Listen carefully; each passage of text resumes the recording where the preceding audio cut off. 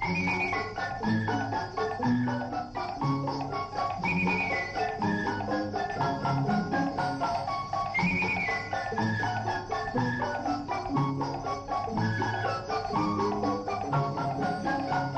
يا مستر اسلام؟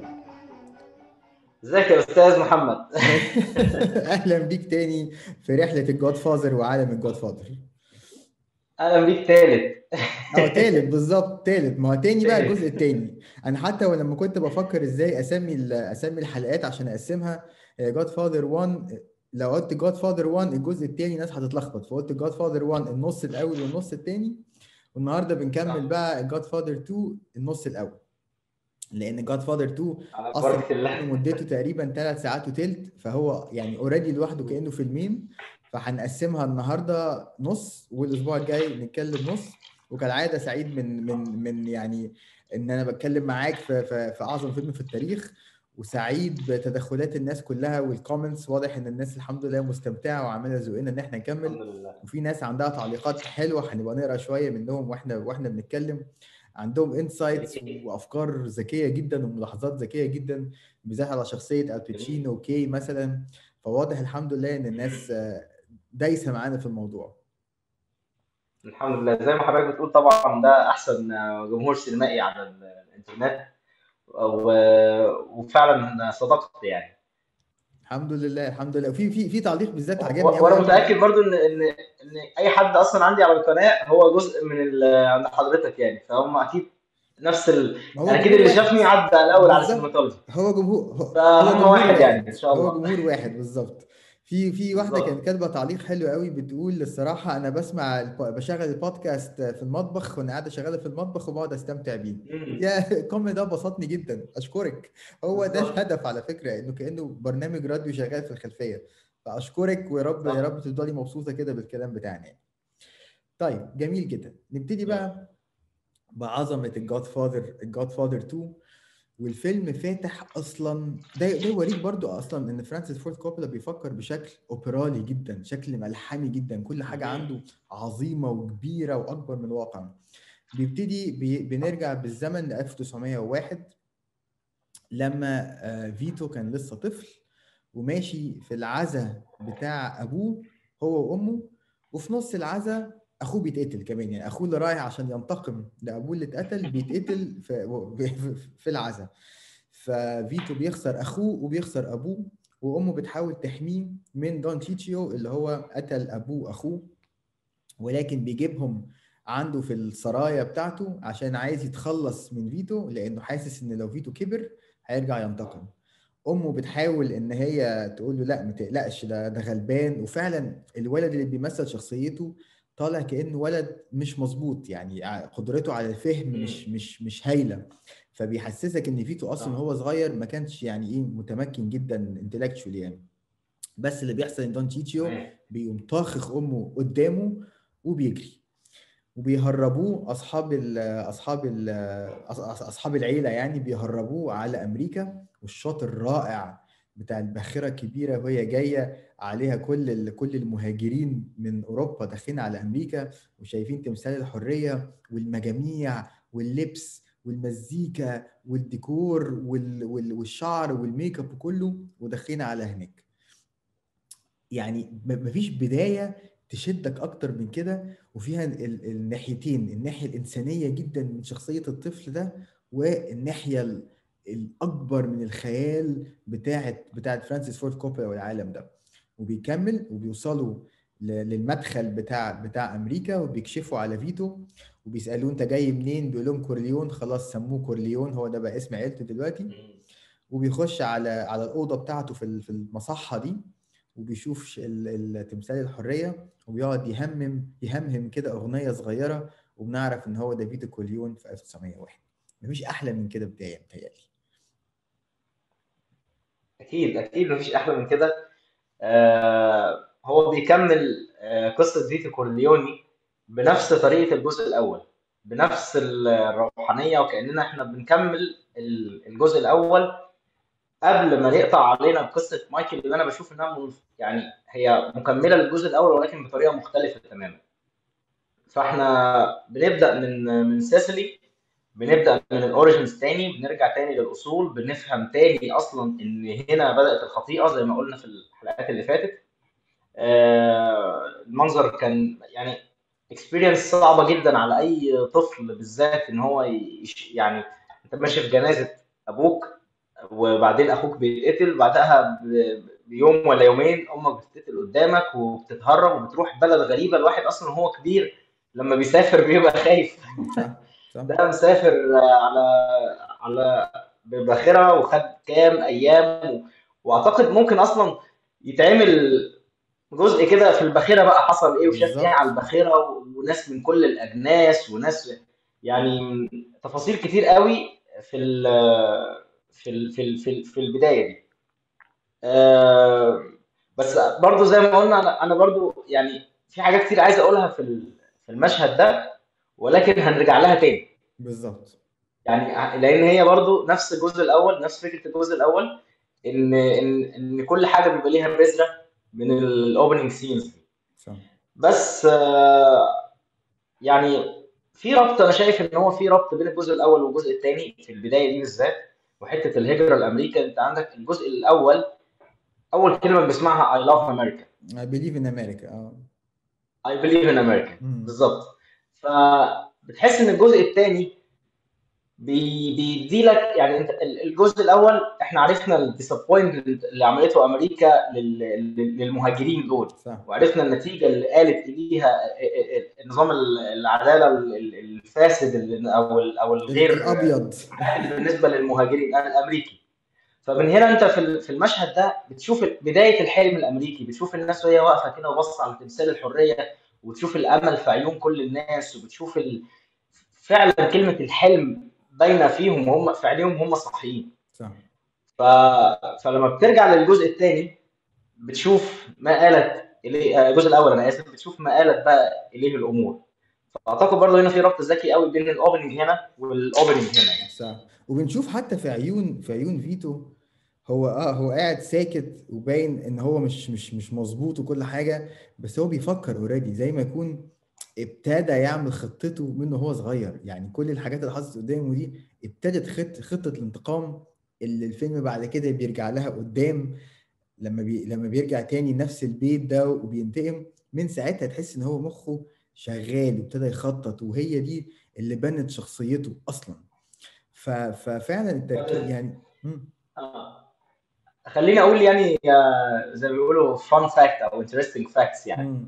الفيلم بدأ في 1901 صح. 1901 دي السنة اللي أمريكا آه، أو إن كوبا بقت مستعمرة أمريكية أو تحت الحماية الأمريكية. مم. فزي برضو شوف الاوبننج بتاع الفيلم اختيار التاريخ مش مش أعتقد مش مختار هباء يعني. بدايه القصة. لأن انت برضو متوازي مع قصة الفكرة بتاعت كوبا والعلاقة بينها وبين اللي بيحصل في آه، أمريكا وكده. ف 1901 دي هنا بقت آه، كوبا آه، تحت الحماية الأمريكية. اللي هنشوف. تأثير ده على ابنه مايكل بقى بعدين. هنشوف مشاهد هافانا وكده. فبرضه لقيت إن الموضوع ده حسيته حاجة عبقرية جدا. لا ممتاز حاجة ممتاز تانية كمان لقيت في في تفاصيل كمان في في المشهد ده. الناس بنعديها كده وما بناخدش بالنا منها زي المرض مثلا اللي كان عنده مم. لما تعرف إن هو كان عنده الجدري مرض جلدي فبرضه بحس إن هو اختيار مرض جلدي للشخصية دي عايز أقول لك إنه في تغيير للجلد هيحصل يعني وبعدين ال- ال- ال- المرض ده كمان كان اللي هو الجدري ال smallpox اللي هو كان عنده مم. المرض ده لما تقرأ عنه هتلاقي إن ده أول مرض انتصر عليه الإنسان مم. فاعتقد برضو هي فكرة إن المعوقات اللي كانت عند فيتو في في في, في إيطاليا هو تح هو الرحلة دي بداية تحول لإنسان تاني. أمه عمالة تقول هو ده غبي ده مش هيعمل لك حاجة ده ما بيتكلمش أصلا. وبعدين لما وصل لأمريكا زي ما حضرتك بتقول بنلاقي إن ال ال ال راح لحتة تانية خالص. ده إحنا دلوقتي بنحلل إزاي بيتكلم وبنحلل إزاي بيفكر وإزاي يعني يعني فاهم قصدي؟ ف حتى المرض اللي هو كان عنده أعتقد ليه رمزية ك... ك... ك... في حكي القصة كمان في حاجة يعني إذا إحنا كنا بنتكلم الحلقة اللي فاتت على ال- الجانب الكاثوليكي والروحاني اللي في ال- اللي في الفيلم مش هقدر اغفل برضه فكرة إن هو رقم سبعة لما كان بي لما كان بيكشف الرقم اللي هو خده.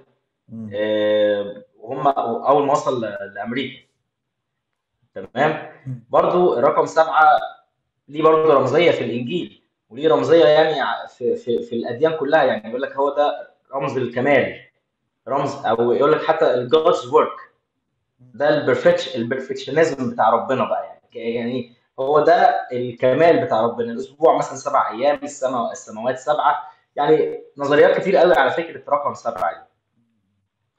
ف أنا بحب شوية قوي بحب وكمان الناس لو حد يهودي مثلا بيتفرج علينا هيبقى عارف كويس جدا إن التوراة كل رقم بيبقى ليه معنى. فأنا شايف برضو إنه اختيار الأرقام دي آه، مش هباء يعني. ممكن أزود أكتر كمان في رقم السرير اللي هو كان 52 52 آه. يعني برضه ليه رمزية وليه دلالة. وفي وده رقم ال guardian angel برضه اللي هو بيحمي الناس وبيحاول إن هو يساعدهم في آه، في طريق في, في رحلاتهم الجديدة. إيه، وبرضه لو هتلاقي طب 52 تفتكر هتلاقي تفتكر فعلا 5 plus 2 تفتكر equals 7 فعلا تفتكر فعلا هم ركزوا في التفاصيل للدرجة دي؟ لأن في في ساعات بيحصل إن إحنا كمشاهدين بنقرأ حاجات يمكن هم ما كانوش أصلا واخدين بالهم منها. فهل تفتكر إن فعلا درجة رقم سبعة ورق... يعني في تفاصيل متفق معاك عليها بس ساعات بحس إن حاجة زي رقم سبعة أو رقم 250 ممكن تكون مجرد رقم؟ يعني دي ده ده برضه possibility يعني. مظبوط بس أنا دايما بحط نفسي مكان ال- مكان مكان المخرج أو مكان الراجل بتاع البرودكشن مكان يعني ليه يعني ما كانش 10 ليه ما كانش 8 قد تكون صدفة. واحيانا على فكرة بيبقى هم بتعمل الحاجة وبعدين تبص لها كده تقول يا دي ممكن يعني حتى لما أنا مثلا باجي أشتغل على الحلقة ولا حاجة إيه ده. الحتة دي حلوة في كذا صح. ولكن أنا شايف إن إن إن إن حتى الحاجات دي على فكرة ممكن تحصل في حياتنا. يعني إحنا. مثلا ممكن أنت أنت ممكن مثلا تكون آه، عايز تعمل رقم حظ مثلا في حاجة هتكسبها فتختار مثلا تاريخ عيد ميلادك تاريخ الكلام ده كله. أنا ماليش دعوة المخرج يقصد إيه ولكن أنا بشوف إحساسي أنا الراجل ده لما راح كان حظه رقم سبعة. بحكي كأني أنا مشاهد في حياة مش في فيلم فاهم قصدي؟ ماليش دعوة المخرج يقصد إيه. هو كان رقم سبعة وفعلا هو ده ال- ال- الشخصية ال- الكاملة اللي في الفيلم فاهم قصدي؟ ورقم 52 لما تيجي تشوفها برضو لو أنا راجل كاثوليكي لو أنا راجل مسيحي لو أنا راجل عارف الرموز بتاعت الأرقام بتاعت التوراة والك... وال... والحاجة... وال... والعهد القديم والعهد الجديد والحاجات دي كلها لو دخلت أوضته كده هقول له على فكرة أنت مستقبلك هيبقى كويس سريرك جه 52 يعني فاهم قصدي؟ عشان برضه إيه الناس بتبقى واحد يقول لك يا عم أنت بتأفور أنت والكلمة لا مش موضوع مش موضوع أفورة أو عنيك ومش أو لا لا مش مش موضوع أفورة والتحنيك والحاجات دي. بس آه هي فعلا في يعني أقول لك ليه يعني وإحنا كده إحنا بنبعد عن موضوع موضوع الفيلم شوية. بس في مثلا أنا كنت بتكلم مثلا كنت عملت حلقة عن إبراهيم الأبيض وكنت بتكلم على اللون الأحمر ومش عارف إيه. وبعدين. عملت بودكاست مع ناهد نصر الله. فبقول لها أنا خدت بالي إن اللون الأحمر بيرمز كده قالت لي لا لا لا أنا ما بشتغلش كده خالص ولا ما فيش في دماغي خالص إن اللون ده يرمز لكذا ولا. النور ده الموضوع بيطلع كده فاول ما قالت لي كده. حسيت ممكن فعلا الواحد يكون بس مش معنى إن حاجة غلط أو صح بس زي ما أنت قلت واحد جاي بمنطلق معين أو حس معين فبيشوف دلالات معينة من.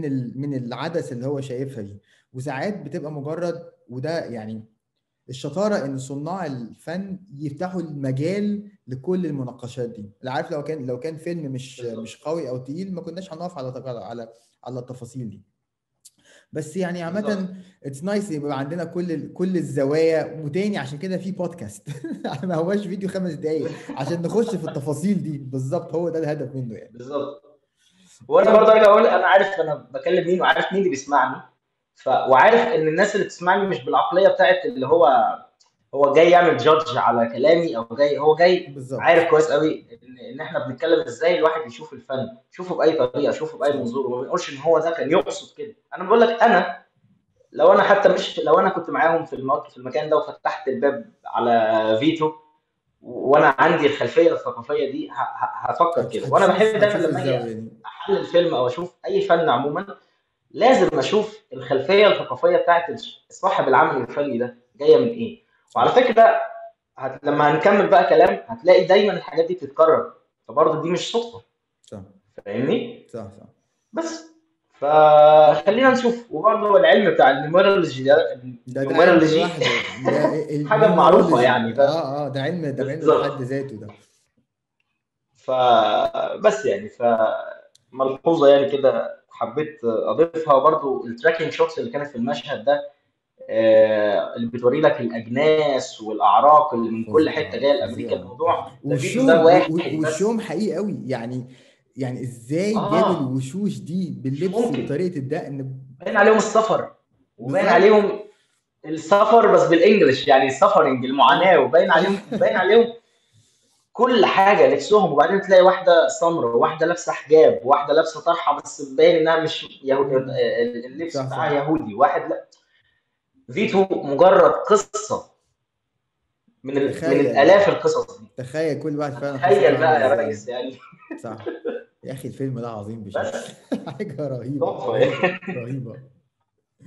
اللي اللي بيحصل بعد كده إن إحنا بن بنروح بقى ب dissolve جميل من 1901 ل 1958 وبنشوف. حفيد حفيد فيتو بقى في مشهد مشابه لمشهد الفرح. وهنا بنشوف الفروقات في كل حاجة من الكبير من ال macro لل micro الفرق بين شخصية فيتو لشخصية لشخصية مايكل الفرح هنا زي ما يكون بيحاول يتخلص من كل ما هو إيطالي عايز يبقى أمريكي بشتى الطرق. المزيكا اللبس ال design بتاع المكان. آه زي ما كنا اتكلمنا في الحلقة اللي قبل كده في فرح بتاع part 1 سوني بيطلع عند البوليس وبيزعق له والصحفيين بيزعق لهم. هنا بيطلعوا لهم أكل وشرب ومش عارف إيه فخلاص بقوا إيه حبايب يعني. آه الم- المزيكا بدل المزيكا الإيطالي أنت كنت اتكلمت عن فصصت دلالة الأغنية. هنا مفيش الكلام ده خالص كله حاجات مختلفة تماما. ولكن في برضو المحاولة على الأقل بين التقسيم ما بين العالم الإجرامي والعالم اللي بره. العيلة دي والعيلة دي مايكل في في ال- في المكتب بتاعه معاه توم هيجن وبيقابل الناس بتوعه وبره المفروض إن هو عالم عالم طبيعي يعني. وزي ما في آه، شخصيات معينة بتظهر في part 1 في الأماكن دي بنشوف هنا شخصية وهي شخصية السيناتور. شخصية السيناتور ده الراجل السياسي الفاسد جدا وفي الأول بيبقى بره قدام الناس بي بي بيسلم شيك لحفيده ومش عارف إيه والمظاهر والصور والكلام السياسي الحلو وبيخش جوه يبتدي بقى الكلام إيه الكلام اللي مش نظيف يعني. ويقول له. أنا أنا كل اللي أنت بتعمله ده ما يخلش عليا أنا عارف إن you and your whole fucking family فإيه بيخش فيه هو وفي عيلته. وهنا حتى المزيكا اللي كانت شغالة ورا بتقف. يعني شوف ال sound editing برضو. حتى المزيكا اللي ورا بتقف ومايكل بيبص له بصه ويقول له أنا وأنت جزء من نفس ال- النفاق بس ما تعتقدش إن ده بينطبق بينطبق على عيلتي ولكن صح. كلنا عارفين إن عيلته غارزة معاه في الموضوع ده. آه، فعايز أتكلم على على على مايكل هنا والدخله والدخلة بتاعته في الأول قبل ما أخش على المشاهد التانية مع مع فرانك بانتانجلي. وإزاي إن هنا بقى دخلنا في مرحلة السياسة وإن السياسة داخلة كمان في الفساد. ولكن مايكل شخصيته ابتدت تبقى مش قاسية بس ابتدت تبقى صارمة أكتر وأكتر. وفي مشهد على فكرة أكيد أنت شفته أنا متأكد أنت Godfather fan أكيد شفت واحدة من ال deleted scenes اللي هي بنت سوني الله يرحمه بقى جاية ومعاها خطيبها وعايزة عايزة إن إن مايكل يوافق على خطوبتها من من الولد ده. ومايكل بيقول له أنت. بتشتغل فين ودارس إيه ومش عارف إيه وبيهزر وبيهرج وبيبارك لها. المشهد ده شالوه وبرافو إن هم شالوه لأن تقريبا المشهد الوحيد اللي بنشوف فيه شوية شوية أدمية لمايكل. لأن مايكل في بقية الفيلم كله لوح إزاز يعني عارف؟ لوح تلج ولا إيه؟ فشخصيه مايكل حتى طريقة قعدته تحس إن هو زود وزنه شوية يعني مع إن الفرق مش كبير تقريبا خمس سنين من في أحداث الفيلم من الأول والتاني أو سبع سنين ما تحسش إن ال إن ال إن يعني بان على جسمه أكتر زي ما بان على فيتو بان عليه شال شال الهم بقى أكتر أكتر وأكتر من بداية حتى الجزء الثاني. جميل قوي آه بما اننا رحنا لعالم مايكل خلاص سيبنا عالم فيتو مؤقتا وهنرجع له كمان شوية. صح. ودي عظمة الفيلم ده يعني الصراحه مونتاج رهيب ما بين الاثنين البارل ايديتنج اللي اتكلمنا عنه الفيلم اللي فات آه، في المشهد ال- النهاية والمشهد ال- والمشاهد الأخيرة تحول لفيلم كامل. ال concept اللي كان في مشهدين تحول إلى فيلم كامل من واحد أعظم من أعظم الأفلام وأكيد أنت عارف على على النقطة دي كمان الفيلم ال- ال cut الأولاني أصلا كان فيه آه، آه، نقل من الزمن كتير جدا وهم في الآخر شالوها خلوها بس خمسة أو حاجة لأن عاده بيعملوا حاجة اسمها screen test يعني أول ما عملوا النسخة الأولى من الفيلم كانوا بيروح للزمن كتير قوي يجي 20 مرة مثلا رايح جاي رايح جاي وبعد كده لما عرضوها على جزء من المشاهدين اتلخبطوا فقللوها لخمسة. واختيار أصلا بيروح إمتى من الزمن ده للزمن ده ممتاز ممتاز. اختيار اختيار هنتكلم فيها دي؟ أكيد كله هنقعد جاي يا نتكلم فيها دي نص ساعة كله ماشي؟ أنا يعني أنا أنا بتكلم مع إسلام ليه؟ عشان نتكلم في الحاجات دي طبعا. حبيبي. طيب آه، بما اننا رحنا لعالم مايكل فال opening الحقيقي بتاع الفيلم ما كانش في في سيسيلي. ال opening الحقيقي كان في مكتب مايكل. مكان أعتقد ما إحنا نهينا الفيلم ال- الأولاني. والمزيكا شاشة سوداء. مزيكا بتبدأ تا لا لا لا لا لا لا. مم. نفس البدايه وبعدين بيفتح على وش مايكل؟ في ال darkness تمام؟ وبعدين الناس بتقبل ايده أنا يعني عايز حضرتك تشوف اللوحة دي. تمام؟ ولما نقرب كده هتلاقيها إنها نفس ال- الشكل بتاع ال opening بتاع الفيلم. اللي هو ده. كارافاجيو ده ولا إيه؟ كارافاجيو. اللوحه دي اسمها Boy Peeling Fruit. Boy Peeling Fruit دي من الأعمال الأولية ل- لكارفاجيو. وطبعا زي ما يعني زي ما إحنا لسه كنا بنتكلم دلوقتي الحاجات دي برضو السينما برضو زي الرسم فن. صح. فعبر الزمن آه، النقاد يعني والمحللين ومتذوقي الفن قعدوا كتير يفسروا في معنى اللوحة دي. ولكن الت- ال- التحليل الأشهر للوحة دي هو الولد ده بيقشر الفاكهة تمام؟ ولكن في فاكهة نظيفة وفي فاكهة مش نظيفة. هو بينظف الفاكهة اللي مش نظيفة. ليه بينظف الفاكهة اللي مش نظيفة؟ واللي هي كمثرى واللي إحنا بعد كده بنشوف فيتو جايب لمراته كمثرى بعد كده وهو داخل وليها رمزية برضه ممكن نبقى نتكلم عليها بعدين. ولكن اللوحة دي بتعبر انسانيا ده ده ده ال- التحليل الأشهر مش تحليلي أنا ولا تمام؟ ولا اللي صح ممكن ولكن ده المعروف عن اللوحة دي.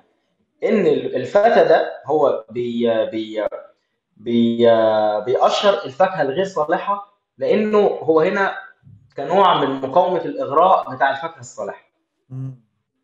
ده مقاومة الإغراء. تمام؟ وأنا برضو شايف إنها إيه، لايقة جدا على مايكل. هو بقى عنده السلطة بقى عنده النفوذ بقى عنده المال وهو إحنا عارفين إن هو من الأول ما كانش عايز يخش في الموضوع ده. فجوردن ويلس ال cinematographer عمل لنا لوحة سينمائية بتعبر لنا عن مايكل وهو إزاي بينتقل من العالم بتاعه الجديد اللي هو دخله وبياخد بياخد لنا آخر shot من الفيلم اللي فات بيقول لنا إحنا هنكمل بقى القصة بنفس المزيكا اللي إحنا بعد كده أعتقد هنسمعها نادرا جدا. المزيكا ال- تيما إياها دي. اللي كنا بنسمعها في الجزء الأول. آه، الإيطالية. وبنشوف بقى إزاي مايكل هيروح في ال في الداركنس دي ولا هيقاوم الإغراءات دي؟ ويرجع تاني ويقنن أوضاع العيلة ويعمل الكلام ده كله اللي هو كان كان كان كان بيحلم بيه وكان بيوعد بيه كان. ف opening هايل تحفة. وبرده كارافاجيو فنان إيطالي. فبنكمل على الجزء الأول الاقتباس من من لوح كارافاجيو ولوح دافنشي للجزء الثاني وأنا شايف كمان إن جوردن ويلز كمان في الجزء الثاني بقى أشطر بكتير. يعني بقى عارف فعلا يظبط الإضاءة صح يظبط ال tone صح. لأنه عارف العالم الأول يعني هو هو خلق العالم في الأول وبعد كده هو دخل جوه العالم ده. فخلاص تمكن تمكن منه بقى عارف ال ال ال بقى عارف حتى درجات السواد. يعني هو السواد له درجات. أيوه. فهو بيلعب في درجات السواد كمان. في الجزء الأول كان أسود قوي وأبيض قوي. وكان حتى الناس اتفاجئت بالموضوع ده وانزعجوا شوية كمان يعني وكمان إحنا دلوقتي بنشوف الفيلم بعد ال HDR وال color correction الثورة اللي حصلت فيه لكن النسخة الأصلية بتاعت الفيلم كانت قاسية قوي على عيون المشاهدين. صح. فالجزء الثاني ده بقى تحفة يعني من ناحية السينماتوجرافي وتطور رهيب في, في, في كل آليات الصناعة يعني. صح. بس فبنروح بقى تاني خلصنا المشهد الافتتاحي فعلا اللي هو الأولاني ده وفي على فكرة بعض النسخ ما بيبقاش فيها للأسف يعني. الحتة الكام ثانية دول بس بنروح آه، لمايكل وبنرجع تاني بقى للمكتب مايكل وبنشوف آه، بس قبل ما قبل مكتب مايكل برضو لما بنتكلم عن الأسرار بتاعت الكنيسة اللي اتكلمنا عنها في الجزء الأول إحنا بنرجع الجزء الأول كان في سر الزيجة أحد أسرار الكنيسة ال- الكاثوليكية والأرثوذكسية أعتقد وبنرجع لسر التناول في الجزء. الثاني. الحفلة أو بالظبط سر التناول.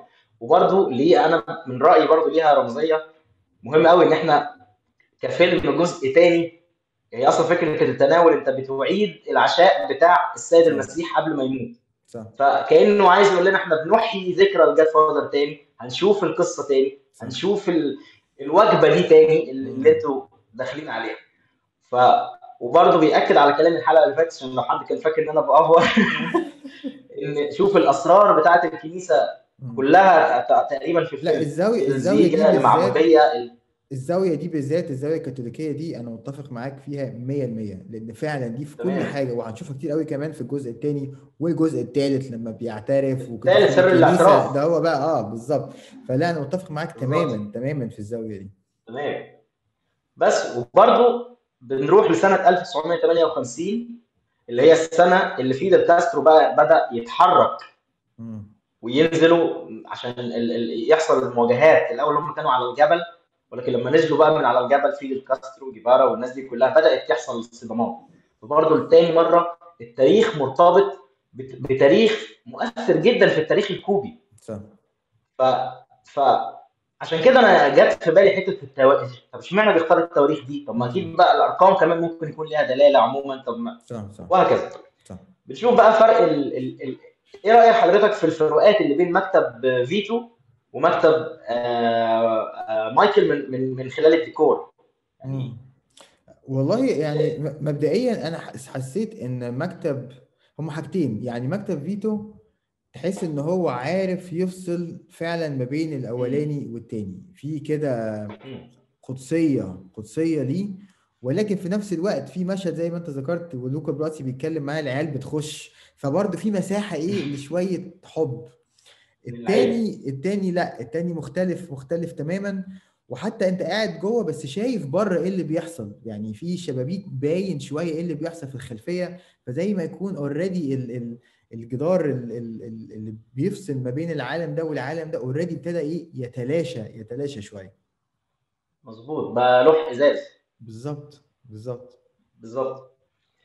بس ف آه حضرتك يعني ذكر يعني حتة ال... نرجع تاني برضه لحتة الفرح لما تشوف برضه الأطفال وهم بيسدوا ودانهم ساعة الماتشات العسكرية آه. لما بتشوف ال... وهو بيعلمهم زي ما حضرتك ذكرت المرة اللي فاتت وهو بيعلمهم يعزفوا إيطالي. معقول يعني؟ طق مش عارفين يجيبوها خالص. يعني مشهد تحفة. وعمل لنا على فكرة المشهد ده عمل لنا تعاطف مع فرانك آه من غير ما نحس كده. بالظبط. وده ممثل رهيب جدا. ويرحب بفريدو صح. نعم؟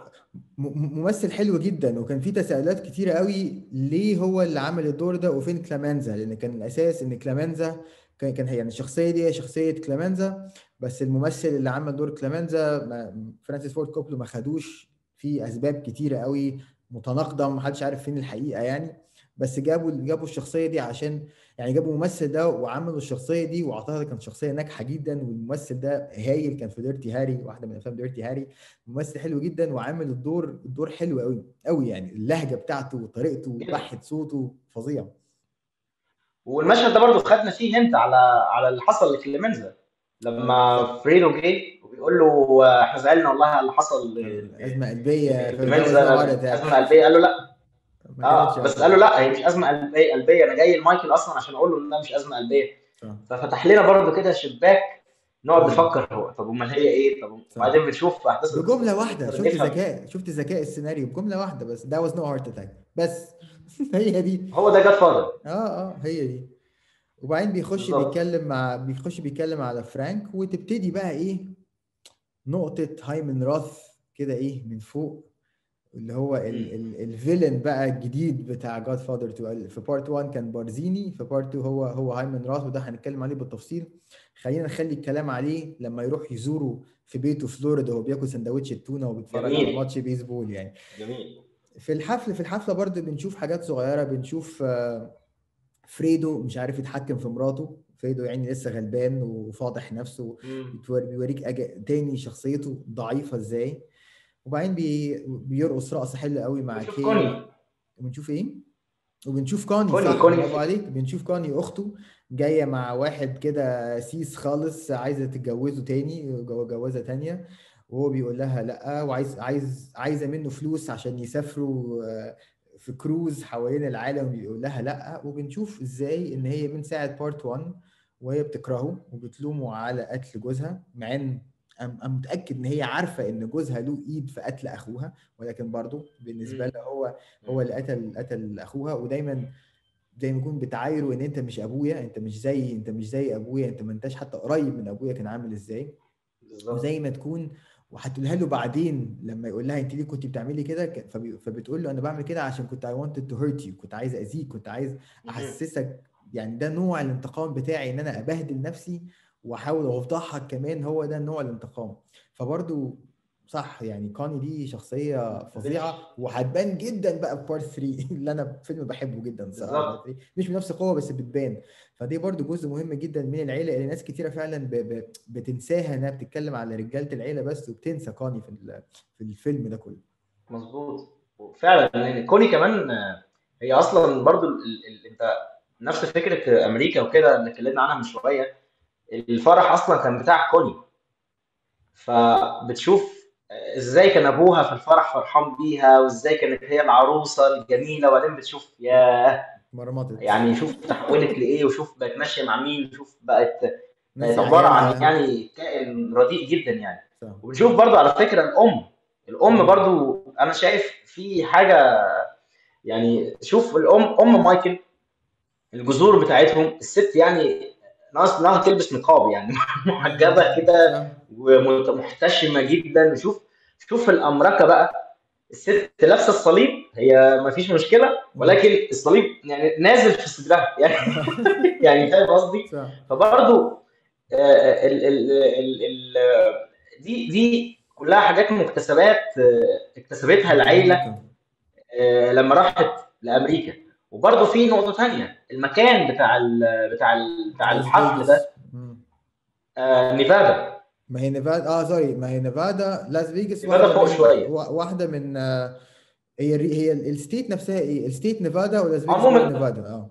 عند عند آه lake تمام. بس الفكرة إن أنت لما بتفتح كده الخريطة بتاعت أمريكا تلاقي نيويورك هنا والنيفادا ولاس فيجاس هنا. صح. فاولا أنت بتشوف أنت أنت جالك فيتو من إيطاليا لنيويورك. اللي هو بعدين بتشوف بقى الامتداد. الشرقية. بالظبط. بتشوف بقى ال ال جغرافيا حتى التحول من من الشرق للغرب ده في اختيار موقع. موقع مايكل يعني. فظيع فظيع. مفيش حاجة غلط. سيطروا راحوا مشوا على الخط كله بتاع أمريكا وراحوا الناحية الثانية الغربية حيث لاس فيجاس والهلس والمسخرة والقمار وال... وهو ابتدى ابتدى يبني ده أصلا ابتدى يبني ده من part 1 لما بعت فريدو للاس فيجاس واخدوا مو جرين. ومو جرين ده طبعا هنرجع له تاني ونتكلم على هايمن راث عشان كل حاجة مرتبطة. أيوه. بس بس كان في الجزء الأول الناس بتروح وتيجي في حد هناك لكن الجزء الثاني استقرينا هنا بقى في بيت في نيفادا. الجزء الأول تقريبا راح فندق. كانوا قاعدين فيه وكان لكن إحنا هنا خلاص بقينا مستقرين هنا في نيفادا ما بقتش نيويورك. نيويورك هنا بقى سبحان الله الجزء الأول كنا بنقارن بين سيسيلي ونيويورك من حيث الأصالة وال... والحداثة. دلوقتي بقت نيويورك هي. هي الأصالة وبقت لاس فيجاس هي الحداثة. وعلى فكرة ده, ده حقيقي عبر الزمن يعني. حتى مايكل بحب أقول جمله فاكر لك times change صح. يعني الدنيا بتتغير والزمن بيتغير فبتتغير في اللبس وبتتغير في الأماكن وبتتغير في السكن وبتتغير في الشخصيات. كل حاجة صح. شفناها وأحلى حاجة أرجع تاني وأقول إن كل ده ما اتقالش.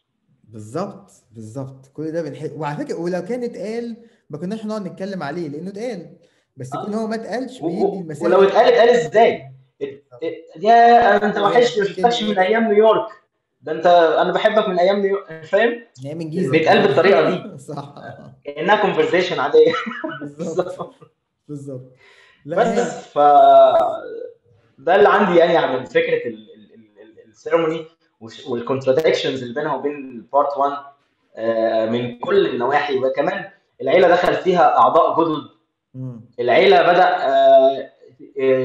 يبقى في ناس قاعدة على الترابيزة مش فاهمة الثقافة الإيطالية يعني إيه 100 سنة 100 سنة يعني كذا بقى في أسئلة بقى في بقى في حاجات كت- بقى في ناس مش شبهنا بقى في ناس أمريكيين قوي الست مش عاجبها أنتوا أنتوا ايطاليين بيغيروا قوي على زوجاتهم الكلام ده كله ما شفناهوش في part 1 وكل ده part 1 وكل ده وكل ده بديه من مايكل يعني مايكل سامح بده مايكل هو اللي عايز almost يعمل ده عايز إن هو يسيب عالم الإجرام ويبقى legitimate يبقى يعني قانوني عايز يبعد زي ما أنت قلت عن نيويورك أكتر وأكتر ويروح لاس فيجاس. هو نفسه في ده هو عايز يتأمرك أكتر وأكتر والمزيكا وكل فده جزء منه هو إزاي عايز يسيب العالم ده. بس زي ما بيقول في part 3 every time I try to go out they pull me back in يعني. واللي بيحصل بعد كده إنه بيخش أوضة النوم وكي بتقول له إيه ده؟ أنت الستارة ليه مفتوحة؟ بيبص وأول ما بيبص بيفهم بيفهم إن الستاره مفتوحة لأن في. يعني في حاجة مش مظبوطة فيقوم موطي ومحاولة الاغتيال تحصل إن هم يحاولوا إن هو يقتلوه وبينجو بينجو باعجوبه وبنشوف هنا بقى كمان ال ال يعني الإمبراطورية بتاعته إزاي والحرس بتاعه فين وبضوا عليه وعايزهم عايشين والكلاب وال- والاسوار بتتقفل بجنازير الحديد ومش عارف إيه ولكن هو نفسه بيقول إن unless بيقول لتوم هيجن يعني إن أنا يعني unless ان أنا غلطان الناس دي already اتقتلت ماتت يعني وفعلا بيطلع. صح. وده بيورينا إن في حد خاين جوه البيت هو كان له إيد في قتلهم وهو كان له إيد إن الستاير تبقى مفتوحة. مين الخاين ده؟ هو ده أكبر سؤال مايكل بيحاول إن هو يجاوبه. مين الخاين بره عيلته ومين الخاين جوه عيلته؟ لأن مين الخاين بره عيلته ممكن. يبقى فرانك ممكن يبقى هايمان راث ممكن يبقى أي حد تاني. جوه عيلته هو مين؟ هل هو آل نيري هل هو روكو؟ ما نعرفش وده سؤال كبير قوي. هو إمتى ابتدى يشك في فريدو أنا في رأيي لسه. يعني في رأيي في اللحظة دي ما ابتداش يش- يشك في فريدو يمكن عشان هو مايكل وعلى طول بيفكر يمكن. بس أعتقد الشك بيجي قدام شوية. بس الأكيد إن الوحيد اللي هو مش شاكك فيه هو توم هيجن. وبيقول له كده بيقول له أنت المسؤول عن عيلتي.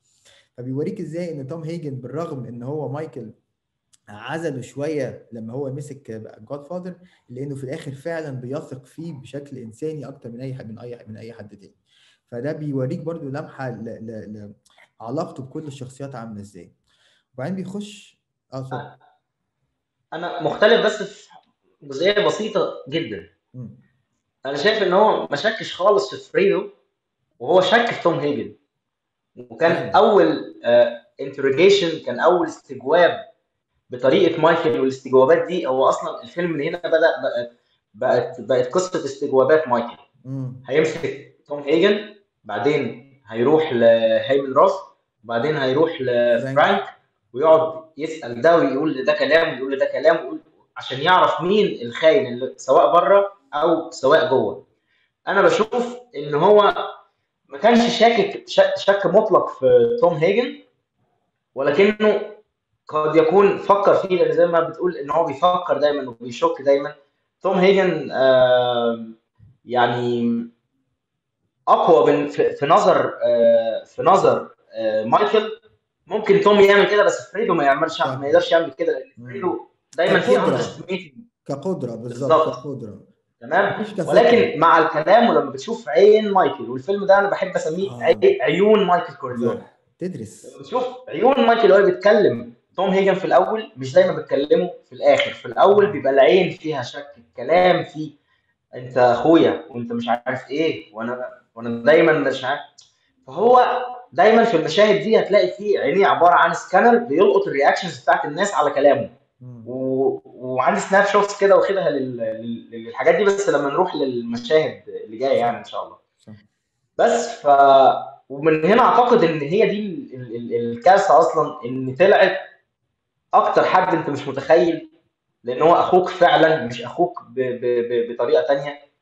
هو اللي هو اللي يكون ليه إيد في في ده ولكن أنا عايز أسألك بقى سؤال مين اللي فتح الستاير؟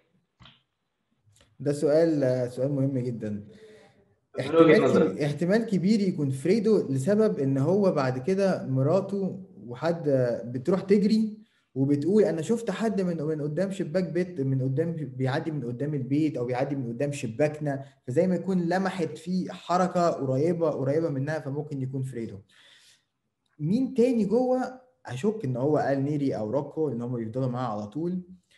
فأنا أعتقد أعتقد إن هو إن هو فريدو اللي ساعدهم أو فريدو أو فريدو كان له إيد إن هو يدخلهم أو ممكن أي حد يكون دخل من خلال ال- من خلال الفرح.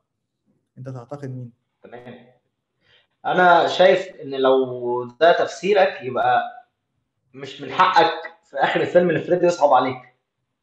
ما دي بقى بص بقى دي بقى دي ده ده ده ما ده أهم conversation هناخدها هنتكلم عليها في في في الحلقة الجاية بتاعت النص التاني. دي أهم واحدة لأن لو كده ده معناه إن هو كان أنا أنا عن عارف نفسي برضو إن هو كان عارف إن هم عايزين يقتلوا مش زي ما قال آه أنا كنت فاكرهم بس عايزين يدوني حاجة ونسرع ال deal مش إن هو كان عارف إن فعلا هيبقى فيه قتل. لا وهو لما لما جوني كلمه في التليفون في مشهد هو وزوجته كانوا نايمين. وقال له أنتوا ضحكتوا عليا أنتوا وقعتوني في مشاكل أنتوا مش عارف وهو أنا حاسس إن فريدو ما كانش أعتقد يعرف أصلا إن الموضوع آه، كمحاولة لاغتيال مايكل. أعتقد مش هو ده اللي هو كان آه، يقصده بس فكرة إن هو فتح الستاير فتح الستاير دي معناها إن هو عارف إن في قتل هيحصل مم. هتخش ليه الأوضة تفتح الستاير إلا عشان تعمل clear shot لمايكل مم. تاني حاجة لما كان بيكلمه في التليفون برضه بيقول له إحنا عايزينك تعرف لنا هو هيروح آه، فرانك هيروح برجالته ولا لأ فأعتقد دور فريدو كان معلومات ادينا معلومات عن. المكان هيروح فين هيعمل إيه الكلام ده كله أعتقد في وعود إن أنت ممكن يبقى أنت المسؤول عن كذا ممكن أنت يبقى الجاد فاذر لما ننحي مايكل بطريقة ما أو. يكون يكون إبعاد لسلطاته. لكن برضه ما أقدرش أجزم إن إن. فريدو بريء وان هو ما يعرفش بالموضوع ده. ولكن أنا بالنسبة لي روكو آه، هو ال first suspect عندي يعني. تفتكر؟ وعندي برضه قول لي ليه آه عندي عندي اللي أنت بتقوله فعلا آه. نقطة؟ قول لي ليه في رأيك روكو؟ اللي أنت بتقوله ده makes complete sense إن فعلا لو هو لو هو فريدو ده معناه إن هو كان عارف أو على الأقل جزء منه عارف إن هو في محاولة اغتيال عليها وده غير اللي هو بيوريه لنا طبعا إحنا ما نعرفش لأن ممكن يكون ممكن يكون جزء منه كان عارف وممكن يكون في جزء منه كان عايز إن مايكل يموت. ما إحنا ما نعرفش. ودي تاني ودي تاني ودي تاني حلاوة حلاوة الفيلم. بس قول لي ليه في رأيك روكو هو اللي كان هو السسبكت الأولاني؟ مش أي حد تاني آه، وخلاص الناس حد حد مثلا لأن الناس دي هايمن ده ممكن بكل سهولة يقوم دافع فلوس لحد بيشتغل جوه في البيت مش عارف إيه يخش يفت يعني في في مليون طريقة وطريقة يعني أعتقد مهما أعتقد الموضوع مش مجرد فلوس لأي حد في البيت لأن أي حد في البيت وأي حد في البيت والناس دي بتاخد آه، لو لو من غير فلوس هو هيخاف يعمل كده الموضوع. ده يعني بيبقى. بيت مايكل كورليوني ده أكيد أصعب من معتقلات كتير يعني. صح صح. أو إن يعني في سلطويه وفي سيادة وفي آه، حاجات كتير جدا خصوصا كمان لشخص زي مايكل كمان يعني. يمكن أبوه ما كانش بالحرص ده أبوه كان بيروح يجيب فاكهة ويروح يعمل مش عارف. لكن مايكل لا ده أنت شفت لما لما مش متخيل مايكل لما الإنذار فتح إيه اللي حصل يعني. تمام. ولكن في ملحوظة برضه مهمة جدا. الناس لما تلاقوا الناس اللي هم كانوا عايزين يموتوه اللي هم ضربوا النار عليه انت لقيتهم في الجنينة مذبوحين. ففريدو ما يقدرش يذبح. أعتقد وعشان تذبح حد لازم يكون قريب منك ففي حد تاني هو اللي خلص عليهم وده اللي قاله لنا مايكل إن الناس دي على فكرة ماتوا دلوقتي. فعلا ده اللي حصل. فهو كان ممكن يضربوا بالرصاص كان ممكن ما نلاقيهمش لكن ليه لقيناهم مذبوحين في حد قوي في حد على علاقة بيهم شافهم وعرف إن الموضوع فشل فتخلص منهم في نفس الوقت وتخلص منهم بطريقة إيه مش مش رصاص مش من بعيد ده cut their throats يعني أنا ما خدتش بالي ما خدتش بالي من موضوع الذبح ده كنت فاكر هو ضربهم بالرصاص بس. وهم مرميين في ال في ال في المية كده في الجنينه دي ولا آه. بالظبط. هتلاقي إن هم الدم نازل من هنا كده. مقطوعين. وبرده لما لما برضه الروكو هو اللي قتل في الآخر هايمن روث. من راس بالظبط. تمام؟ واتقتل. فأعتقد إن المهمة الانتحارية دي هي نفس فكرة الانتحار بتاع فرانك اللي في آخر الفيلم فاهمني؟ أنت هتروح وهتقتله وهتموت جزاء على فعلتك. لو مش تعمل كده هموتك دلوقتي لكن أنت هتروح تموته قدام الناس وهتتقتل. وبرده روكو اتقتل. فاهمني؟ يعني هو اللي في الآخر اللي, برضه دفع الثمن يعني. برضه لو قريت الكتاب هتلاقي آل نيري ده هو المدرسة بتاعت لوكا براتزي ولا يمكن يخونه وهتلاقيه في الجزء الثالث برضه مع مايكل. بالزبط. لو هو كان خاين كان هيبان عليه أي signs أو أي حاجة.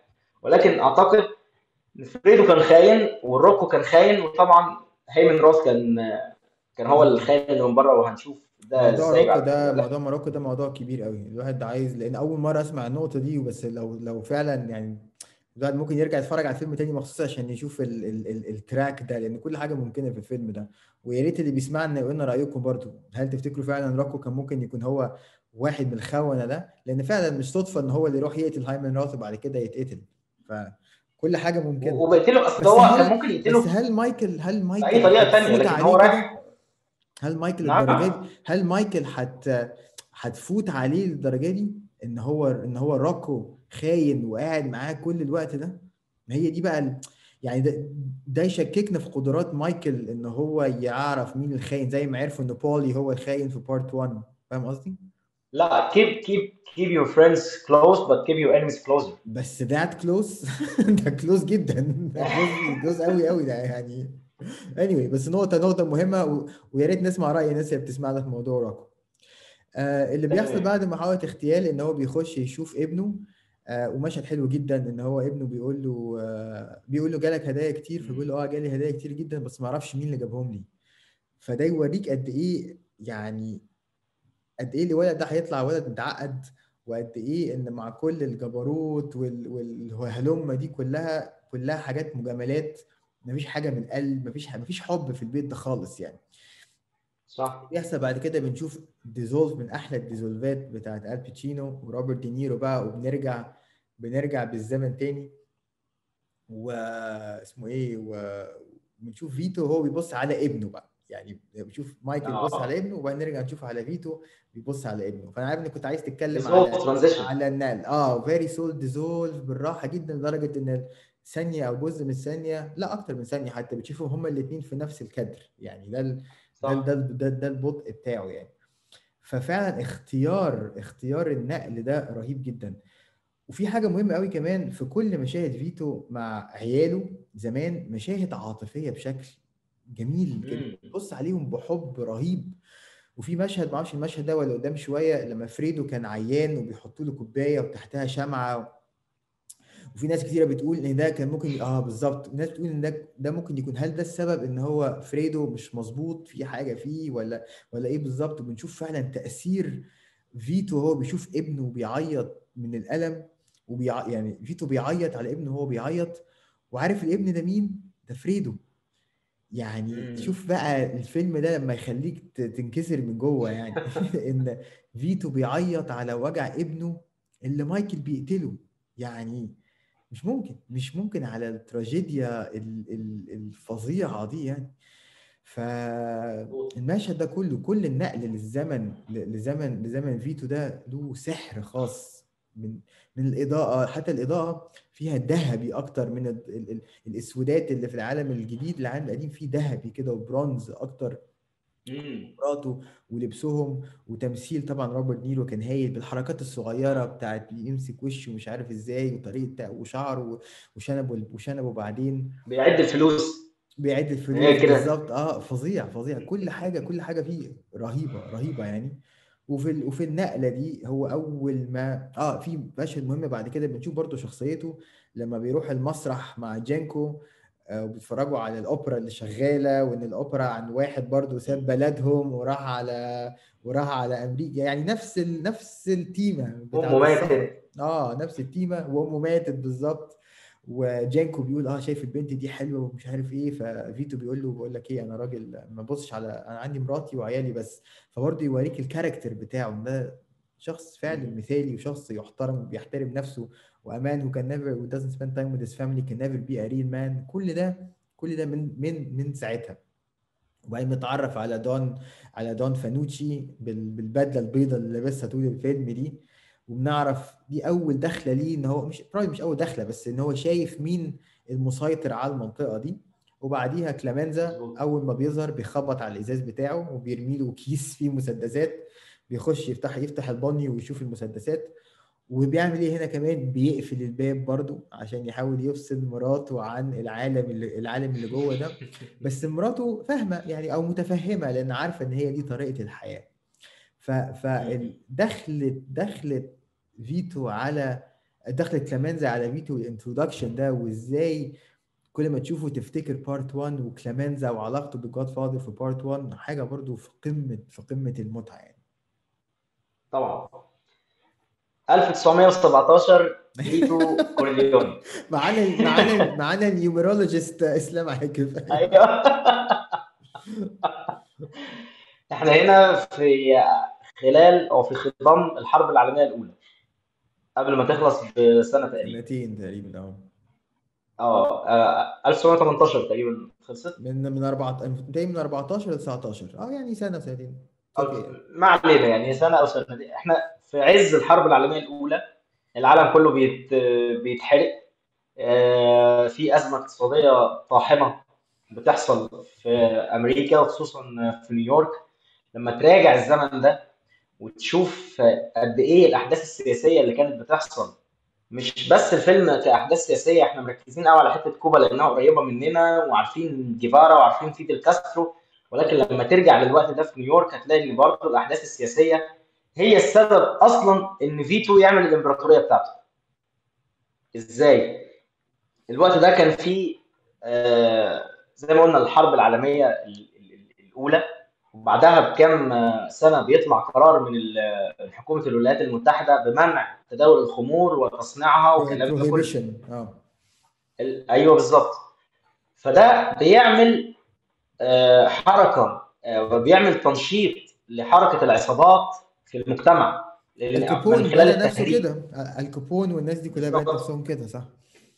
بالظبط. وحتى هو هيمن روس بيقول له أبوك اللي كان صاحب العربيات. يعني جات لنا برضو يعني جلمسز كده بتجيلنا من تاريخهم. وإن أحلى حاجة في الفيلم ده إن أنت تقعد تربطهم ببعض كده. امم صح. يعني في في أنا حاجة أقعد على أقول طب كمل سوري كمل يا آه، لا يعني أنا قاعد أقول طب 1917 طب أشوف إيه الأحداث اللي كانت بتحصل في 1917 أشوف التاريخ إزاي؟ فلاقي إن ده اللي أنا بقوله ده ألاقيه موجود. بعدين أفتكر إن في الفيلم هو كان فعلا هايمن راث بيقول له إن ده إحنا عملنا فلوس كتير قوي بسبب الموضوع ده. صح. فظيع فظيع. ف وفي مشهد في مشهد في ال deleted scenes برضو بنشوف فيه هايمن راث وهو صغير. يعني آه، آه. كلامنزا بيعرف آه، فيتو على هايمن راث وهو لسه صفروت كده بيقول له ده لقيته وكويس في العربيات ومش عارف إيه واسمك إيه؟ قال له هايمن واسم يهودي جدا. قال له لا الاسم ده معقد شوية. مين أكتر واحد بتحبه. فقال له مش عارف إيه روستين. قال له خلاص هنسميك هايمن روستين. أرنولد آه، روستن رو- روستين بالظبط. ففيتو هو حتى اللي إدى اس إدى هايمن راث اسمه. بس بنشوف إزاي من سا يعني بالظبط شوف العلاقة من إمتى؟ يعني فظيع الفيلم ده. أنا من حزين. إن المشهد ده مش عارف ليه اتشال يعني. ده بالظبط. في في كذا مشهد أنا متفق إن هم يتشالوا بس المشهد ده متهيألي كان يبقى حلو قوي حلو قوي لو اتساب. ومشهد تاني برضو معلش sorry يعني قطعت كلامك سرحت في deleted scenes بس لا لا خالص بالعكس. في مشهد حلو جدا وهو أول ما بيتعرف على تيسيو برضو هم عايزين يبيعوا المسدسات. المضروبة دي فبرضو بنشوف تيسيو لأول مرة بيتعرف على تيسيو وبيخش عند واحد آه، لحام ولا معرفش إيه بيفك بيفك المسدسات أو بيبيعها وعنده ابنه فكليمنزا وفيتو بيقولوا له مين الولد ده؟ فقالوا له لا لا ده ابني ما ابني ابني ما تقلقش هو عارف اللي إحنا بنعمله وما عندوش مشكلة. ابن ابنه ده. اسمه كارماين كوبولا اللي هو اسم أبو فرانسيس. فورد. يعني هو الراجل بتاع الحداد ده اسم عيلته كوبولا وابنه اسمه كارماين. فبيقول له إيه كارماين كوبولا ده ابني وبيلعب مزيكا حلوة قوي على الفلوت سمعهم حاجة على الفلوت. فبيجيب ويقف كده في النص ويلعب بيلعب على الفلوت. وأبو فرانسيس فورد كوبولا اللي هو كارماين كوبولا كان بيلعب فلوت في الأوركسترا. هو أصلا لاعب فلوت. وهو اللي عمل مزيكا كتير قوي في Godfather برضه كان كان كان نينو روتا وكارماين كوبولا. فتحس إن فعلا الفيلم كله هو فيلم عائلي. فرانسيس فورد كوبولا حاطط فيه كل عيلته وبنته وأبوه ومش عارف إيه. وفي shot حلو قوي قوي أشجع الناس اللي بتسمعها تروح تتفرجوا على اليوتيوب في ال deleted scenes في الفيلم في المشهد ده لقطة. كليمنزا ماسك المسدس وبيعمل كده بيجربه. وتحته كارمن كوبولا بيلعب. بيلعب المزيكا. shot لقطة كده زي كارافاجيو زي انت وريتها لي. sorry سرحت شوية. نرجع بقى اللي كنت أنا للاسف ما شفتش المشهد ده ولازم هبعته لك بعد حاجة تحفة جدا يعني. آه لا إحنا كنا استكمالا للكلام برضه. هو كوبولا بيحط خلاصة روحه في الفيلم. إحنا قلنا المره هو الفترة دي قد يكون عاشها أو قرأ عنها. أعتقد إن هو يكون أعتقد عاشها. و... وعلى فكرة برضو دي سمع عند معظم المخرجين اللي من أصل ايطالي أو الفنانين صناع السينما عموما من أصل ايطالي يعني هتلاقي برضو تارانتينو كده بيحط حتة ساعات تلاقي كمان أصلا سريع سريع قوي موضوع المافيا ده في السينما. يعني هم محظوظين كمان كإيطاليين صح. ان ان ان إن هم أصحاب الموضوع المافيا ده. يطلع منه قصص عندك سكورسيزي بقى بالظبط. وسكورسيزي إزاي نسيت المفروض كنت أقوله قبل بالظبط. وبعدين بنروح فعلا للمسرح. وأنا برضو هنا بنشوف من خلال الفيلم تأثير.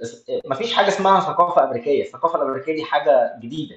الثقافة الأمريكية هي عبارة عن خليط بين كل الأجناس والثقافات دي الأيرلندي على السويدي على اليهودي على على على على على على, على, على كل, كل الناس اللي جم من أوروبا دول. فبتشوف هنا المسرح الإيطالي وبصمته في الثقافة الأمريكية. بتشوف ال المسرح الارتجالي. حاجة برضو يعني حاجة حلوة جدا ان يحيي لنا ذكرى المسرح ده ونوع المسرحيات دي. وفي حاجة يعني برضو أنا شايفها. دون ده دون فانوتشي. بتقلق دلوقتي لو لا لا لا خالص بالعكس بالعكس بالعكس خالص, خالص والله أنا بحب ال dialogueات دي جدا.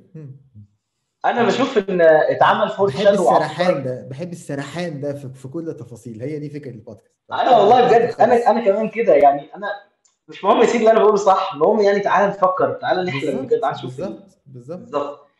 آه في أغنية لكوين آه اللي هي بوهيميان رابسودي يعني حاجة الكلاسيك يعني بتاعهم. فهم بيقولوا I see a little silhouetto وبعدين ال Scaramouche الكورال. نعم؟ Scaramouche Scaramouche لا هي ده fandango بالظبط. مين بقى سكراموش ده؟ مين؟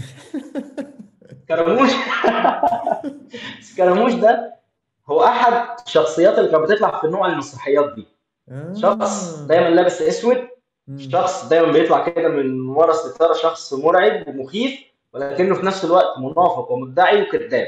ومعاه فلوس كتير بس هو نصاب وحلنجي يعني. تمام؟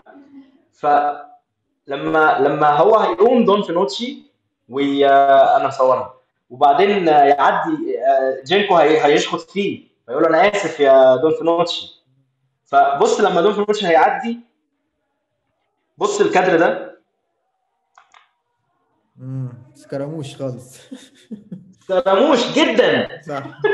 صح. يعني فهو هنا بيدي لك foreshadow بيدي لك فكرة كده مبدئية استباقية عن دون فانوتشي اللي إحنا هنتعامل معاه في القصة دي من قبل حتى ما جينكو يقول لنا مين هو ده. واو يعني.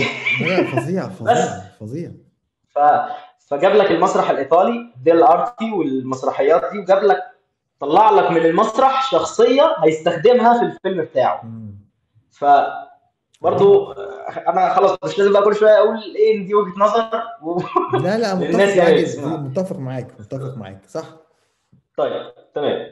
بس ف برضو كنت بحاول أشوف الأوبرا دي هل ليها أصول ولا كده فلقيت إن هي Senza اسمها Senza Mamma. دي أصلا مؤلفها كوبولا ومؤلفها نينو روتا. الأوبرا اللي كانت بالظبط. فلقيت إنها يعني كوبولا نفسه. نعم؟ اللي مؤلفها أبو كوبولا ولا كوبولا نفسه؟ والله ممكن بعد المعلومة اللي حضرتك قلتها يكون أبو قبله ارجع. ارجعها تاني لأن أنا شفت قبله فترجمتها على طول فممكن آه أرجع أتأكد منها تاني لكنها. مصنوعة من أجل ال- المشهد ده يعني والفيلم. جميل. لا ال ال ال بس. ال ال sequence ده كله هايل هايل هايل وبعد كده والتعرف على كليمنزا وبعد كده كليمنزا بيدخله بقى في أول عملية سرقة ليها ودمها خفيف كده بيسرقوا سجادة حلوة ومتصورة حلو قوي والبيت شكله حلو قوي والمزيكا حتى لطيفة ولذيذة.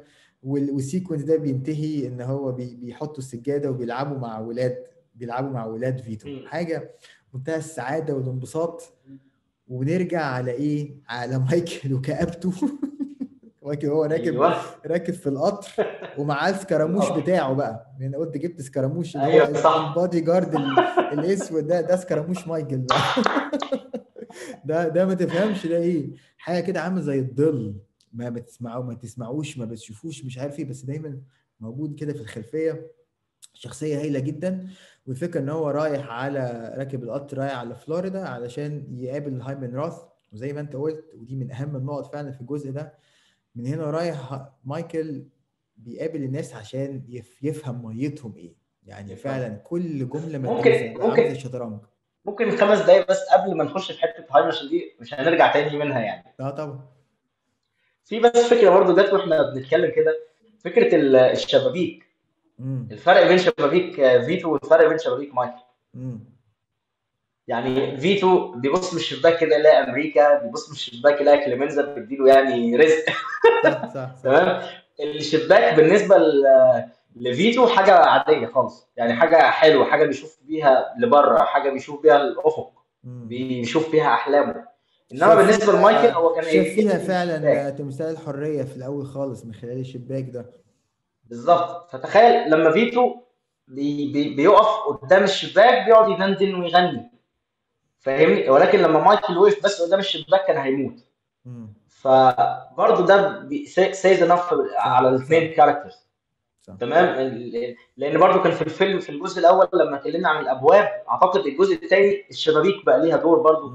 ك ك set يعني ك ك blocking ك mise-en-scène في المشاهد يعني. هو إن هو ليه يعني برضو من الشباك يعني. في كل هنا هتلاقي شباك وهنا هتلاقي شباك هنا هتلاقي شباك وهنا هتلاقي شباك. وبعدين سؤال بقى عايز أنا السؤال ده حيرني كتير جدا. فقلت مفيش غير الأستاذ محمد هو اللي ممكن يفكر معايا بصوت عالي في الموضوع ده. وأنا آسف يا جماعة إن أنا بخش في التفاصيل الغريبة دي. يا جماعة أنا بقولها دايما بودكاست للتفاصيل اتفضل. بي- بي- بيخش ب dissolve transition من فين لفين؟ من فيتو لحد القطر؟ زمن للزمن. بالظبط. المرة دي قطع بصوت القطر ومشهد القطر. طب أنا ليه كمخرج أروح واخد ناس واصور واستنى القطر الفجر لما يبقى الدنيا dark كده وبتاع واخد ال shot ده واجيب مايكل وهو في القطر.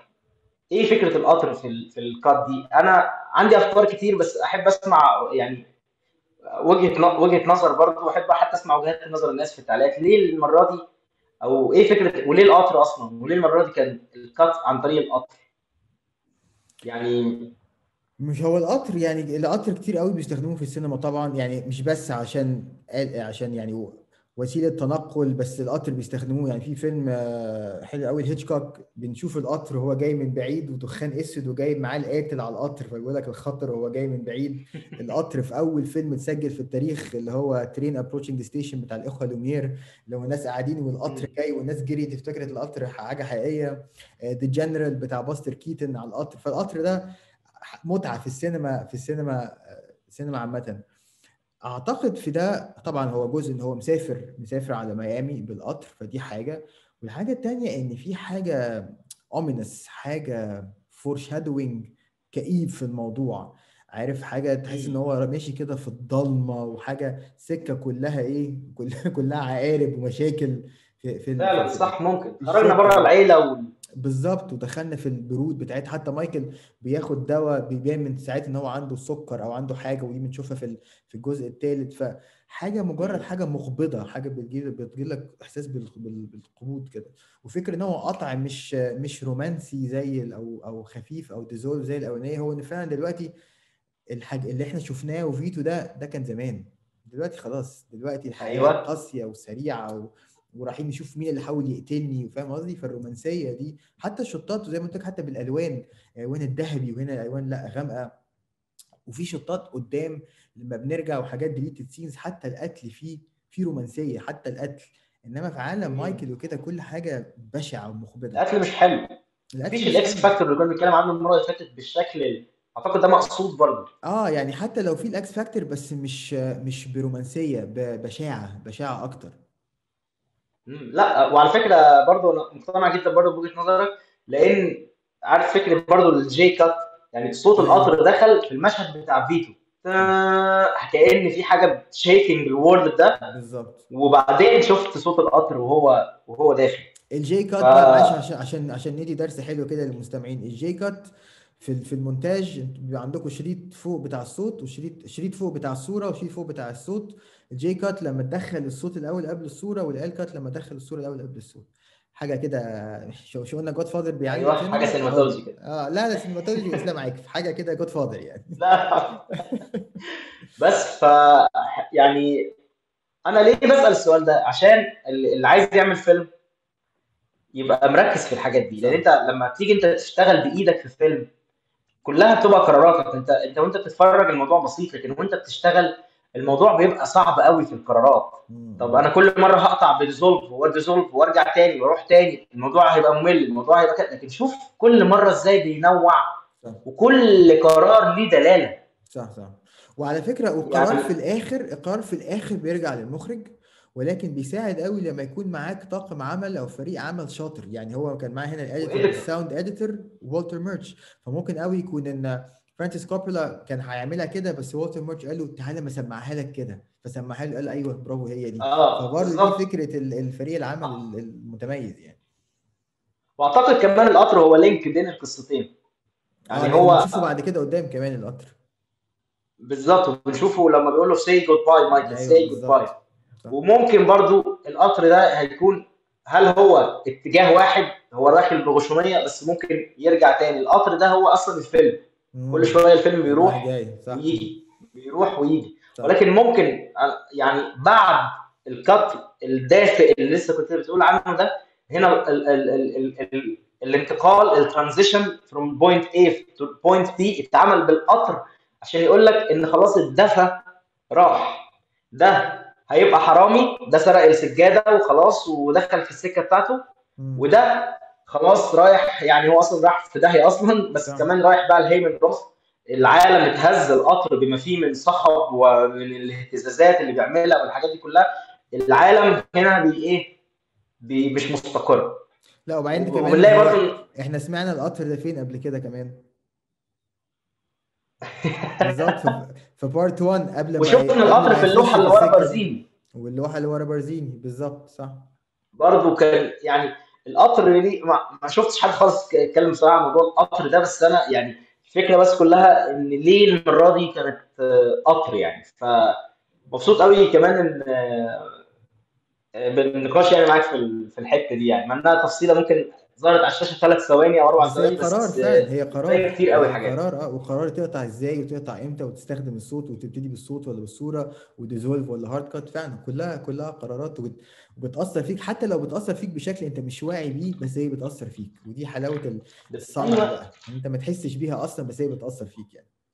هو ده بقى الفن يا جماعة. لما واحد يعمل لوحة وبيحط لون أصفر بيحط لون أزرق هنا وبيحط لون كذا كل دي هو مش معنى ما فيش معنى للون الأصفر ومعنى للون لا ولكن التجانس بتاعهم واللوحة اللي انت بتشوفها دي هي الانطباع اللي انت بتحسه. هو ده الفن هو ده الش... هو ده الرسم الشعر المسرح المزيكا الموسيقى. الموسيقى قصص من الحاجات أكتر حاجة دي أكتر حاجة لأنها فعلا حاجة عبر الشعوب كلها. هو مش لغة بس فعلا بالظبط بتدي انطباع وإيحاء وإحساس إحساس إحساس معين يعني. صح؟ بالظبط. فانا مش هلاقي احسن من ال- الموقف اللي أنا فيه ده مع معاك يعني ومع السينماتولوجي عشان نتكلم على الناس إزاي تتذوق الفن وتشوف التفاصيل الصغيرة اللي بتكون الصورة الكبيرة يعني. بس. بالظبط بالظبط. وأنا سعيد جدا إن إحنا نروح لهايمن راس بقى. نروح نروح لهايمن راس وتعالى تعالى نحاول إن إحنا أنا كنت عايز إن أنا أخلص الحلقة النهارده في مكان معين بس كالعادة إحنا كلامنا كلامنا ما بيخلصش. فأنا عايز وأنا للأسف زي ما قلت لك أنا في كندا حاليا فمؤجر مؤجر meeting. room عشان أصور وهيطردوني كمان شوية. فأنا عايز إن أنا أيوه أنهي الحلقة ساعة والله فأنا آسف. آه لا لا ولا يهمك. فعايز أنهي الحلقة دي على على هايمن روث عامة. وطبعا هنتكلم عليه أكتر بكتير. بس هو بيخش على هايمن روث وق- وقرار برضو زي ما إحنا بنتكلم على قرارات إزاي إن هايمن روث بيروح يقابله فين؟ في بيته هو ومراته اتنين كبار في السن قاعد بياكل سندوتش تونة وبيتفرج على ماتش بيسبول. حاجة يعني ما تقولش إن ده راجل يعني ملياردير يعني. وده ده ده مبني على شخصية حقيقية اسمها ماير لانسكي كان آه، راجل عصابات يهودي. ودي قصة حقيقية يعني شخصية حقيقية في تاريخ العصابات في تاريخ أمريكا وكان من أغنى أغنياء العالم يعني. بس مقرر إن هو يعيش عيشة كده في الضواحي في, الظريف جدا. وزي ما أنت قلت مايكل رايح عشان يفهم يجس نبضه يرمي له فخ ويشوف حي... أو يرمي له طعم يشوف حي... هيعض ولا مش هيعض كل ده. فبيعرفوا إن حصل محاولة عليا ومش عارف إيه وبيقول له آه، فرانك هو فرانك جه كان متضايق وبالتالي فرانك هو اللي عملها ومش عارف إيه. ما عندكش مانع إن أنا أتخلص من فرانك؟ فبيقول له فرانك small potatoes يعني فرانك ده ولا حاجة. ويمكن دي يعني يمكن دي غلطة من من من هايمن إن هو يقول لمايكل إن فرانك لا فرانك ده ما, يعملش حاجة زي كده. فدي already كانت إيه زي ما يكون دلالة عليه. بس يوريك ال- الشطرنج اللي بيلعبوه هما الاثنين بيلعبوا لعبة شطرنج. وهنعرف بعد كده قدام لما لما هايمن روث يقول له على قصة مو جرين إن هايمن روث بيلعب لعبة الشطرنج دي من زمان قوي قوي قوي ودي مجرد حركة من حركات ال... من حركات الشطرنج. وعينه فعلا. والقعدة وتغيير القعدة. إمتى بيقود قدام وامتى بيخش ورا. ال attitude بتاع هايمن روث ده فعلا من من أعظم ال villains وناس كتير ممكن تكون عارفة إن اللي بيلعب شخصية هايمن روث ده اسمه لي ستراسبرج ده واحد من من أعظم مدرسين التمثيل. ال Actors Studio في نيويورك ده واحد ده, ده درس لآل باتشينو التمثيل تخيل. يعني ده في المعهد آل باتشينو دخل معهد التمثيل لي ستراسبرج هو اللي كان بيعلمه. فهو أصلا أصلا معلم آه فاصلا هو معلم already إن هو يطلع يمثل. مع آل باتشينو هو اللي رشحه للدور ده وعمل الدور دور حلو جدا جدا يعني. فكلمني كده كلمني كده عن عن عن هاي عن ال ال ال الشطرنج العقلي والذهني اللي بيلعبوه مع بعض في المشهد ده. هايمن من من اللي سمعناه عنه في الفيلم ومن اللي وصلنا له ومن اللي بنشوفه بعينينا هو شخص manipulative جدا. هو شخص بي- بيجيد التلاعب وتحريك قطع الشطرنج. الراجل ده بنى ثروته عن طريق الآخرين إن هو إزاي؟ وحتى الج- الجملة اتقالت صراحة إن هو ما كل الناس ماتت إلا ده لأنه بيضمن مكسب شركائه يكسبوا دي بالظبط نقطة مهمة جدا جدا يا إسلام برافو إنك قلتها لأن فعلا هو ما هوش ما هوش زي ما بيسموه هناك muscle ما هوش العضلات يعني مش ما بيفرضش قوته بال بال بالقوة والعنف. هو فعلا زي ما أنت قلت كده هو businessman وراجل يعني بيجيب لكل شركائه الفلوس عشان كده دايما بيخلي. بالظبط. و, و, هو راجل آه، زي ما بنقول زي ما كنا بنقول هو الموضوع عامل زي بالظبط فكرة التروس اللي في المكنة اللي هو كان بيصلحها وهو صغير في في العربية زي ما يكون بالظبط اشتق الفكرة من من الخلفية المهنية بتاعته. هو بي بي بيتعامل مع ال business على فكرة إن حاجة مع حاجة مصلحة وكل حاجة بتمشي بطريقة ميكانيكية حلوة جدا. ولكن في المشهد ال- ال- زي ما حضرتك قلت بنلاقي بيت فقير جدا بنلاقي أسرة متوسطة جدا لا يمكن يخطر ببالك إن الشخص ده يكون معاه 300 مليون دولار ومعاه ولما بنشوفه في كوبا بنلاقي ثراء فاحش. في أمريكا عامل الوش العجوز اللي مش عارف إيه والكلام ده كله والغلبان ولكنه في كوبا لابس بدلة غالية جدا قاعد في ريزورت جامد جدا فالراجل ده ما بيهتمش بال بال materials الراجل ده بيهتم قوي إن هو إزاي يلعب بكل ال- ال- ال- الأسلحة اللي عنده. وأعتقد ده كان هي- ده مايكل قدر يقراه مايكل الأول ما كانش شايفه. ولكن مايكل مع الوقت عرف إن هو مجرد حاجة بيس- بيستخدمها هيمن روث ل- ولما هيخلص الاستخدام بتاعها ده ممكن مم. يستبدله بفريدو ممكن وبرضه هيكون أسهل إن هو يسيطر على على كل الكورليونيز بفريدو. وبعد كده كمان حتى ممكن يتخلص بفريدو. فهو ده الشخص اللي, اللي إحنا بنتعامل معاه. شخص خطير جدا. يمكن آه، أكتر من آه، من بارزيني. بارزيني آه، متفق معاك. صح. والدليل ان بارزيني اتقتل. يعني واتقتل يعني بطريقة يعني مش مش ما. فيهاش الصعوبة. بالظبط. مش زي التاني ده اللي كان صعب جدا الموضوع. ولكن لما نرجع تاني لل deleted scene اللي لسه كنا بنتكلم عنه لما بيقول له مين مثلك الأعلى في ال- عشان نسميك اسمه يعني عليه وكده قال له إيه؟ قال له أرنولد آه، روستاين تمام؟ ده برضو شخصية حقيقية. وكان في الوقت ده عارف هتقول إيه؟ عارف هتقول إيه؟ ما خدتش بالي منها غير لما دلوقتي اتلمح بيها. الله طب قول طب قول. لا إن هو بيقول إن هو I, started watching back ever since knew- آه، مش عارف إيه روستين fixed the world series مش عارف إيه. هم بيتفرجوا على البيسبول بيقول له لايك أنا ما كنتش بالظبط. آه أنا ما كنتش لاقي في البيسبول غير لما واحد معين ظبط حاجة كانت معروفة يعني في عالم البيسبول ر- رشح حد ومش عارف البلاك ظبط- سوكس سكاندل أيوه بالظبط. ظبط ظبط حاجة عشان فريق معين يكسب والراجل ده اسمه اين رودستين. وفي اخر روتس رودستين ده هو اللي اسمه اللي سماه عليه فيتو زمان. يخرب بيت كده يا جماعة. بالظبط. بالظبط. فهو الراجل كان عنده role معين وهو حققه. والراجل ده كان عنده فضيحة كبيرة جدا مش فاكر سنة آه، كام بالظبط بس في موضوع البيسبول تلاعب في النتائج في في ماتشات ال- البيسبول وكده عشان المراهنات والحاجات دي كلها. فبتلاقي إن هيمن روث قاعد بيشوف ماتش بيسبول. زي ال ال ال ال ال الراجل بتاعه يعني. فكل حاجة يا مدروسة. إزاي إزاي حتى أنا شفت إزاي أنا شفت الفيلم ده يجي 100 مرة ولسه دلوقتي خدت بالي من النقطة دي. يعني شوف كام مرة ولسه بكتشف حاجات جديدة. مش ممكن مش ممكن. مم. فظيع فظيع. وحتى ال آه، ال هو بيشرب بيبسي بيبسي كولا والحاجات دي. برضه تلاقيها في المشاهد بتاعت فيتو دايما هتلاقي وراه اللوحه بتاعت بيبسي. يعني في تحس في برضه ربط في حتة اتعلم دي هل هي برضه على رمزيه فكره برضه اتعلم منه. هايم هايمن راث اتعلم الإجرام برضه على إيد فيتو. ما هو اللي كان كان بيشتغل تحته زمان برضه. ال- الفكرة إن هو جيل جيل جاي بطريقة بمشروباته بلعبته بثقافته بمبادئه بكل حاجة. يعني هو حتى هو هو آه هيمن كان حتى عايز يقتل آه مايكل بدافع الانتقام برضه الصديق ليه يعني هو وده مش بقى ده ده هنتكلم عليه بالتفصيل قدام بقى صح؟ بالظبط بالظبط.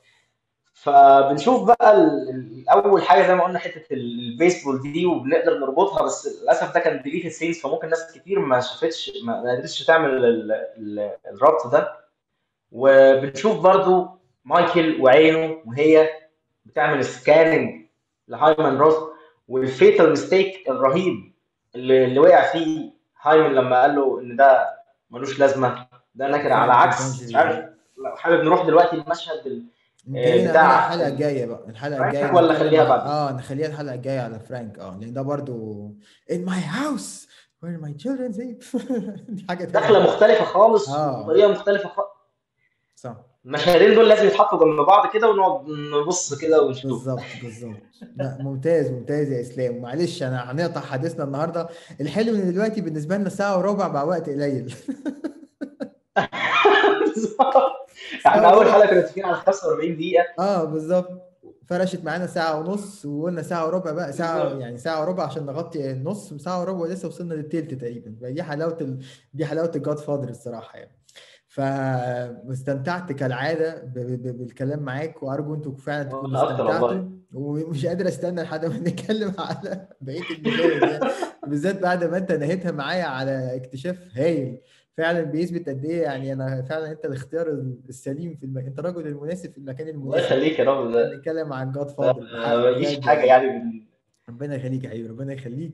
وأرجو الناس تكون استمتعت وإن شاء الله بقى نشوفكم الحلقة الجاية كده إيه نكون سخنانين بقى نكمل رحلة رحلة صعود فيتو ورحلة سقوط سقوط مايكل. إن شاء الله. ميرسي يا إسلام وأشوفك يا. أستاذ. وأشوفك الحلقة الجاية يا حبيبي. ربنا يخلي حضرتك شكرا جزيلا. سلام.